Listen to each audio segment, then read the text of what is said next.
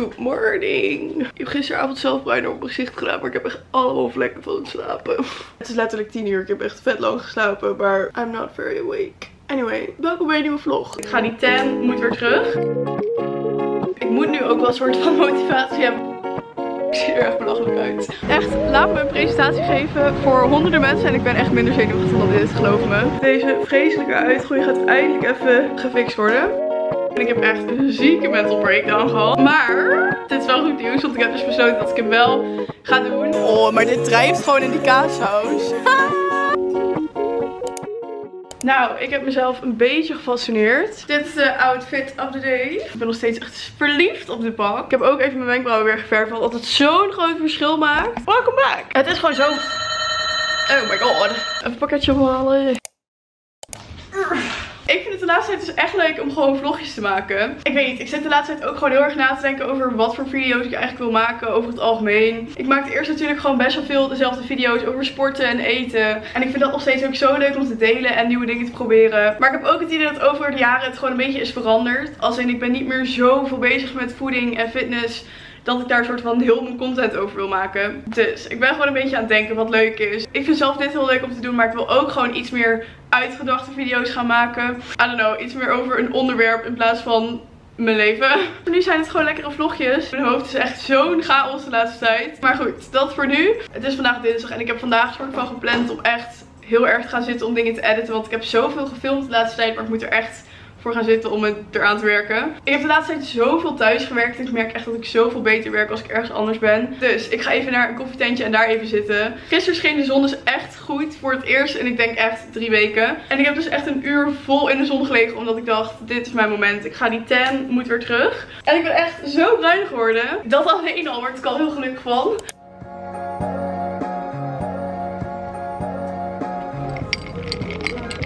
Dit is echt bij mij om de hoek en ik ben hier nog nooit geweest, maar ik zit hier echt zo chill in de zon. Ik heb een ijslatte besteld. What a hottie. Look who's here. Samen thuiswerken, wat een koolse.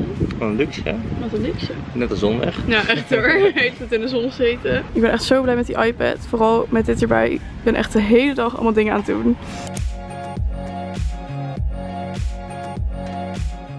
Echt 9 uur s avonds en ik heb een kopje koffie. Want ik ga even sporten. Ik dacht eigenlijk dat ik vandaag nog heel veel spierpijn zou hebben en dus geen sprintjes kon doen. Maar het gaat eigenlijk wel. Dus ik dacht, ik moet eigenlijk gewoon wel even gaan. Ik heb een shortje aan van Elfleet. Ik vergeet elke keer hoe mooi ik deze vind dat ik hem weer aan heb. En deze sport van Jimmy Shark. Ik ga wel even een beetje sieraden afdoen als ik sprintjes ga doen. Ik moet nu ook wel een soort van motivatie hebben om te gaan hardlopen en mijn sprintjes te doen. Want ik ben letterlijk bijna heel september weg op vakantie en daarna in Bali. En we hebben ons dus ingeschreven voor mijn allereerste hardloopwedstrijd. Dus ja, ik heb letterlijk vorige week voor het eerst in mijn leven denk ik 5 kilometer achter elkaar gelopen. Waar ik echt al heel trots op was. Zeg maar zonder te stoppen tussendoor. En ik denk echt dat die sprintjes daar zo erg bij geholpen hebben. Omdat ik dat gewoon ook wel leuk vind om te doen. En natuurlijk best wel veel heb gedaan de afgelopen maanden. Dus ja, ik kan ze eigenlijk ook niet skippen vandaag. En ik wil ook gewoon even gaan. Want ik ben de afgelopen weken zo weinig in de sportschool geweest. Omdat ik en echt geen motivatie had. En gewoon een beetje gekke weken had met dat ik veel weg was en zo. Ik heb nu ook echt veel make-up op. En dat ga ik wel even afhalen voordat ik ga. Want als ik iets vervelend vind, zoals dat Zolang je gezicht eraf druipt als je aan het sporten bent. Maar ik moest even wat filmen straks. Kijk hoe pretty de lucht is.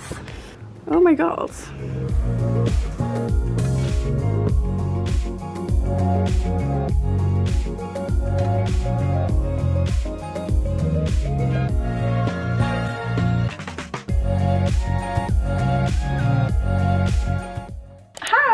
Dit is echt al helemaal ingedroogd. Ik kan echt mijn gezicht niet meer bewegen. Ik heb even weer mijn everything shower gedaan. Ik zag er gisteren ook weer een TikTok over. Eén keer in de week of zo heb ik gewoon zo'n douche dat ik echt alles ga doen. Mijn haar had ik vanochtend al in de olie gedaan. Toen ben ik gaan sporten. Daarna heb ik dus gewassen, een haarmasker gedaan, geschoren, olie opgedaan en even een maskertje. En ik voel me weer helemaal Ik heb vandaag best wel een belangrijke dag. Ik heb het hier eigenlijk niet zo vaak over, maar ik heb dus al best wel veel kijkavonden gehad voor kamers. Het waren soms wel dingen die ik echt wilde en dat het dan niet werd. Toch had ik altijd al een soort gevoel van dit klopt niet helemaal nog of zo. En twee weken geleden of zo had ik weer gereageerd op mijn kamer. Ik had echt zo'n gevoel van dit zou zo zo top zijn volgens mij. En nu ben ik dus uitgenodigd voor de kijkavond en dat is vanavond. En daarnaast had ik ook nog een makelaarskantoor in Nijmegen een berichtje gestuurd met ik zoek iets. Mochten jullie iets hebben, let me know. Ik zou er dus vrijdag gaan kijken. En toen kwam ik daar aan en toen zat de makelaar voor de deur. En die zei dus, ik heb slecht nieuws, want die meid die er nog in woont, die was er niet. Ik kon letterlijk niet naar binnen. Wist al dat ik vandaag, dus deze woensdag, naar die kijkavond zou gaan. En ik weet niet, ik had er gewoon zo'n goed gevoel bij dat ik echt zoiets had van, stel die studio is leuk en ik neem hem, dan heb ik ben ik dus niet naar die kijkavond geweest. En weet ik niet wat ik anders had gehad. Maar toen was ze er dus niet. En konden we letterlijk niet naar binnen. Het eerste wat ik dacht was, oh my god, dit is perfect. Want ik ga gewoon vragen of ik dan volgende week mag kijken. En nu is het dus uitgekomen dat ik letterlijk allebei die bezichtigingen op dezelfde dag heb. Dus vandaag. Moet om half vijf naar de een en om half negen naar de ander. Ik weet niet, maar omdat ik er zo'n goed gevoel over had over eigenlijk allebei, vind ik het zo spannend. En het is nog steeds niet alsof ik hier thuis weg wil. Maar ik zou het gewoon echt zo fijn vinden als het plaatje wat ik in mijn hoofd had, soort van kan kloppen of kan uitkomen. Dus ik dacht, ik ga gewoon even goed voor mezelf zorgen. Dan voel ik me ook beter. En ik heb deze podcast dus laatst eigenlijk pas ontdekt. Ik kwam dus eigenlijk via TikTok op het account van Vidia Soraya. Ze doet het al super lang, maar ik ken haar eigenlijk niet. En ik heb echt zoveel van haar YouTube video's teruggekeken. Ik vind haar gewoon heel leuk. En hoe zij in het leven staat, gewoon heel peaceful en fijn of zo. En zij heeft dus ook heel veel met spiritualiteit. En daar heeft ze dus ook een podcast over. En die heet dus de Online Sisterhood. En daar hebben ze het dus ook over heel veel dingen. Maar ik was er net eentje aan het luisteren over manifesteren. En dat je er echt in moet geloven. En dat je, ja, ik weet niet, dat soms gewoon aan je wordt verteld wanneer iets de right timing is. En dat je er dan achteraf achter komt dat dat dus de juiste timing was. Echt een hele leuke podcast, is sowieso een aanrader. Het matchte ook gewoon heel erg toevallig met wat ik vandaag een beetje voelde. Dus, vandaar dat ik even dacht, ik ga extra mijn best doen en een beetje voor mezelf zorgen. Vanochtend ook al benen getraind en ik heb de laatste tijd zo weinig motivatie om benen te trainen. het ging eigenlijk best wel goed en ik voelde me sterk, dus dat is altijd chill. Ik heb me even aangekleed en ik ga weer even mijn haar veunen met de Dyson. En ik denk dat ik deze keer niet die krullen ga doen, want dat is eigenlijk het enige opzetstuk wat ik gebruikt tot nu toe. Maar ik denk dat ik het soort van met die kam glad ga veunen dat het een beetje stijl wordt. Ik zie er echt belachelijk uit. Ik ga dit er even afhalen. De hair is done. Ik heb mijn haar dus gefeund. En ik vind dit ook wel weer een keer leuk. Dit is gewoon iets minder heftig. En dan zit het gewoon alsnog goed voor de komende dagen. Ik heb dus nu eerst gewoon dit opzetstuk gebruikt. En daarna met de puntjes een beetje zo afgerold. Dat er wel nog een beetje een soort slag in zit. En I kinda like it. Ik had dit dus eerst nooit echt, maar ik merkte de laatste tijd zo vaak dat als ik zenuwachtig ergens voor ben, dat ik gewoon echt geen honger heb. En dat ik gewoon echt geen hap door mijn keel krijg. Ik neem even een eiwitreep mee in de auto. En ik eet nu wel nog even een banaan, denk ik. Anders, ja, ik moet wel gewoon eten. This is the make-up of the day. En ik heb dus ook, ik weet niet of ik dit al heb gezegd, maar ik durfde eindelijk een nieuwe oorbel te doen in mijn derde gaatje. Ik heb hier een andere in trouwens, dat vind ik juist wel leuk. Zo lang geleden al. Ik heb echt toen ik net terug was uit Madrid mijn derde gaatje aan beide kanten laten schieten. En ik wist nog wel mijn tweede gaatje dat altijd in het begin zes weken die sfeerknopjes erin moeten met, hoe heet dat, dat spulletje dan elke dag erop moet doen. Maar waar ik het had laten doen, zeiden ze dat ze een spreetje hadden in plaats van die druppeltjes. En dat het daardoor in drie weken al geheeld zou zijn. Dus dat ik er dan een nieuwe in kon doen. Het was echt nog niet geheeld. Het deed zoveel pijn. Alsof je in een open wond aan het prikken bent met zo'n oorbelstokje. Maar nu is het dus echt twee maanden geleden. Misschien wel langer. En nu doet het dus eindelijk geen pijn meer als ik er een nieuwe oorbel in doe. Het heeft echt tot drie weken geleden gewoon gebloed. S'nachts. Maar goed, ik ben er wel heel blij mee. Want deze oorbel heb ik dus echt al heel lang. Ik had altijd het idee dat hij in het derde gaatje moest. Dat dat mooier was. Want ik vond hem in het tweede gaatje nog niet zo. Dus dit vind ik nu echt heel leuk. En hier heb ik dus gewoon drie ringetjes. I really like it. Ik vind het echt zo spannend. Ik heb vanmiddag bij die studio gekeken. Dat was echt heel leuk. Maar ik ben niet de enige die interesse heeft. Dus niet zeker. En ik moet nu dus echt over 10 minuten naar die kamer kijken. Echt, laat me een presentatie geven voor honderden mensen. En ik ben echt minder zenuwachtig dan dit, geloof me. Ik kan ook echt gek worden hoe negatief ik kan denken in deze situaties. Want een keer gaat het gewoon goed komen. Maar ik, had er zo, ik heb er zo'n goed gevoel over. Ik ga niet zeggen dat ik er geen goed gevoel over heb. Maar ik vind het wel echt heel spannend. Ah! I can do this, I can do this. Ik ben dus altijd zo slecht in gelijk een oordeel hebben. Ik moet het altijd zo lang op me laten inzinken, bezinken.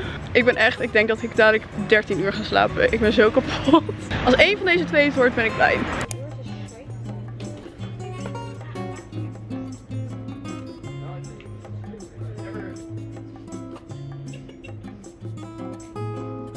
Today is the day. Deze vreselijke uitgroei gaat eindelijk even gefixt worden. Ik heb dus een afspraak om mijn highlights in plaats van over half mijn hoofd nu door heel mijn haar te doen. Dus ook hieronder. En ik heb dus ook gevraagd of er misschien nog iets lichtere plukjes doorheen kunnen. Maar I don't know what I want. Maar we gaan er dus toe.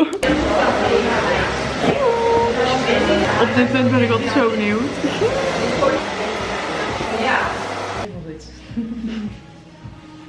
Ja, ik heb die kleine haartje hier ook Oh ja. Ja. Oh ja, dat zie je echt dat hij hier heel licht is. Ja, hè? Dan wordt het echt steeds zo lichter als je. Ja, ik vind het echt heel mooi. Ja. Nou is het echt blond. Dat is echt blond, ja. Even in stappen. Ja, ik vind dit ook wel een groot verschil maken dat dat lichter is. Ja, hè? Ja, heel blij mee.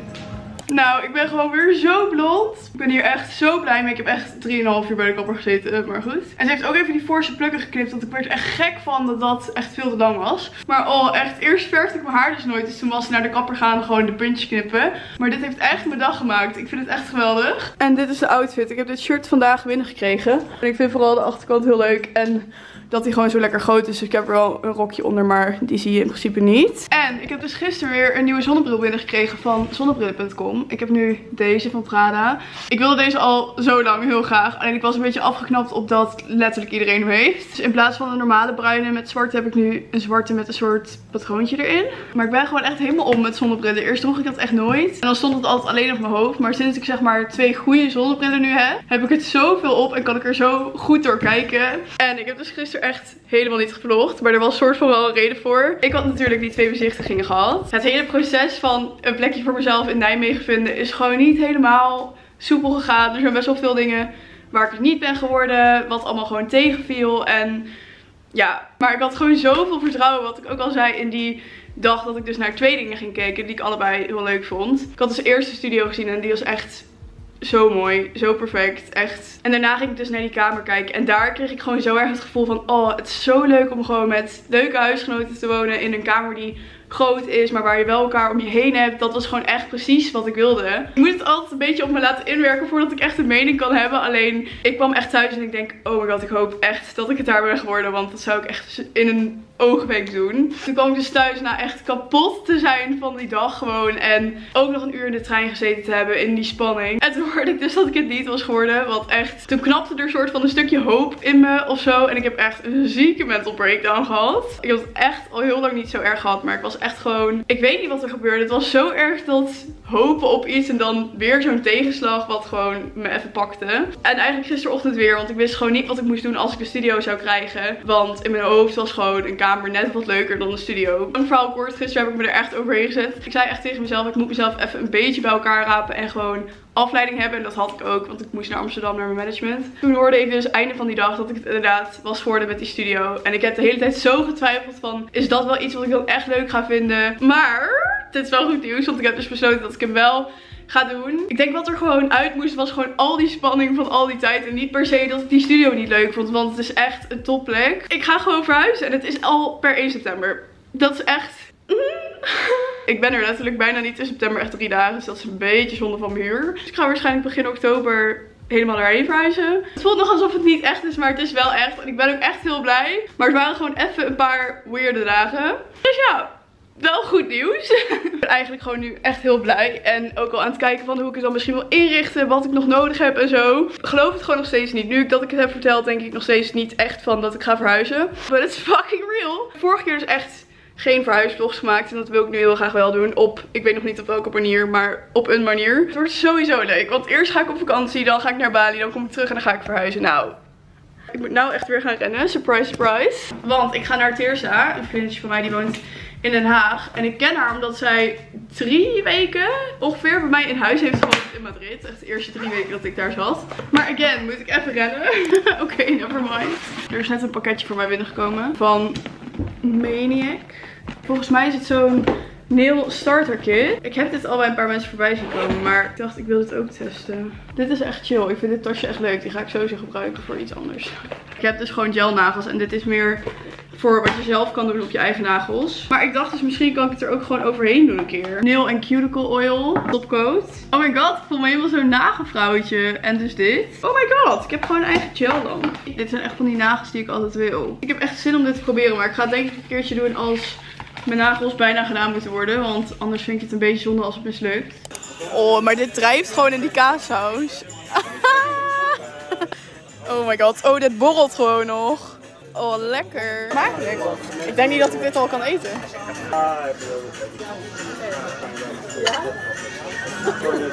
dit voelt echt een beetje als een Madrid outfit. Wat ik daar al aan. Ik ben dus echt best wel veel afgevallen. Een soort van onbewust.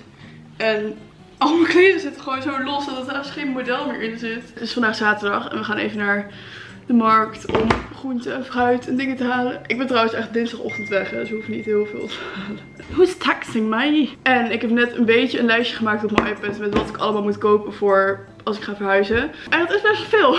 Dus ik wilde eigenlijk even langs een kringloopwinkel. Omdat ik dat en gewoon altijd wel leuk vind. En misschien nog iets kan kijken. Ja, in mijn hoofd is dit echt een Madrid outfitje.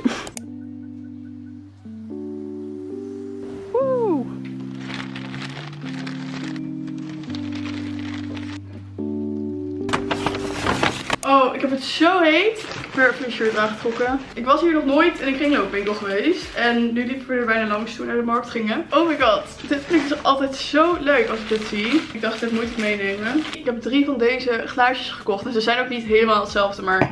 Ze lijken wel heel erg op elkaar. Ik vind dat echt zo leuk. Ik heb ook echt geen idee wat ik eruit ga drinken. Maar ik vind het al gewoon leuk om ergens neer te zetten. Ik zoek altijd een beetje van die leuke glaasjes die gewoon mooi eruit zien. En die zijn altijd zo overpriced. En deze zijn letterlijk 1,50 waren ze per stuk. Dus dat kan er nog wel van af. Helemaal leuk. Echt zo blij mee als ik dan even iets leuks heb gevonden. Ik had het al gezien op de heenweg. Joey had het eigenlijk gevonden. En ik heb het net op de terugweg toch maar meegenomen. Want, kijk. Kijk hoe goed. Dit is echt gewoon een super grote spiegel. En eerst had ik het echt lelijk gevonden dat dit hout was. Maar ik vind dat nu eigenlijk best wel leuk. En gewoon een beetje gezellig eruit zien. En hij was letterlijk 6 euro. En ik dacht voor in de gang of zo is dat wel even top. Dus ik ben helemaal geslaagd. Ik, heb echt, ik wil nu echt naar nog meer kringloopwinkels. Want ik vind het helemaal leuk om dan goed te zoeken naar echt van die pareltjes die erin zitten. En verder hebben we op de markt echt ziek veel fruit en groente gehaald. Vorige week hadden we ook echt zo'n zak gember gekocht. En die is letterlijk nu op in een week. En dit vind ik altijd zo lekker van die wilde perziken. Ik vind het wel echt ziek zonde dat ze in plastic zitten. Maar goed. Dit was 1 euro voor dit. En nog bananen, citroenen, sinaasappels en kiwis. En die ga ik nu even eten. Dit allemaal kostte echt, denk ik, nog geen 5 euro bij elkaar. Dus echt het tripje waard. Dit is de setup of the day.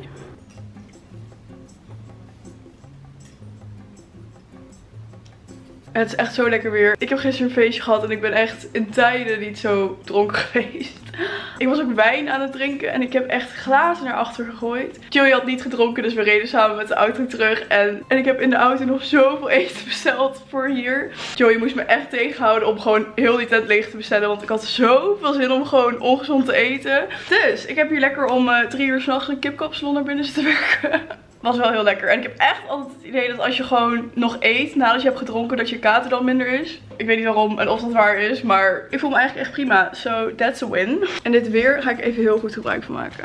Hoe laat is het? Kwart voor tien pas. Het is echt nog heel vroeg, maar Joey en ik zijn allebei zo moe dat we gewoon nu al gaan slapen om kwart voor tien. En ik moet morgen ook echt veel doen, dus ik vind het ook wel lekker als ik gewoon vroeg echt wakker kan zijn. Dus ik heb heel mijn skincare al gedaan en allemaal olie op en zo. All ready for bed. Ik heb echt zin om te slapen. Ik heb vandaag echt een paar keer gehad dat ik gewoon echt met moeite mijn ogen moest openhouden. En het is zondagavond, dus dat betekent dat het ook weer een einde is van deze video. Ik weet niet, ik vind het wel leuk om te doen, maar ik heb ook weer zin om ander soort video's te maken. Maar goed, er komen in ieder geval echt heel veel leuke dingen aan om naar uit te kijken. En ik ga het proberen zoveel mogelijk te filmen, want dat vind ik zelf ook gewoon super leuk. Dus als je dat nou ook allemaal wil zien, vergeet dan niet om het even te abonneren. En even deze video te liken of iets achter te laten in de comments, want dat helpt ook echt super erg. En dan zie ik jullie heel graag de volgende keer weer.